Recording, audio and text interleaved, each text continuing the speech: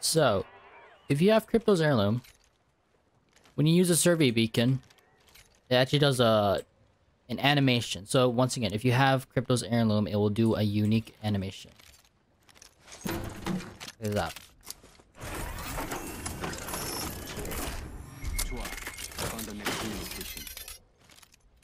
So yeah, he uses his heirloom to scan the beacon.